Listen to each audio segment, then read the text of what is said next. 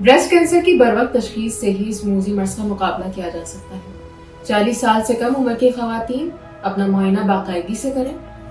और चालीस साल से ज़्यादा उम्र की खातन हर साल मेमोग्राफी लाजमी करवाएँ